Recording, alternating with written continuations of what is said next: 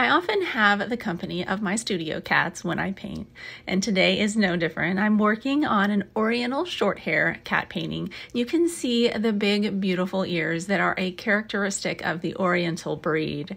I just love the way they look. They're so unique, and they have a really thin, streamlined body, kind of similar to a Siamese cat in that sense. And so I just, I just love the sleek look that they have, and I wanted to accentuate that in this painting.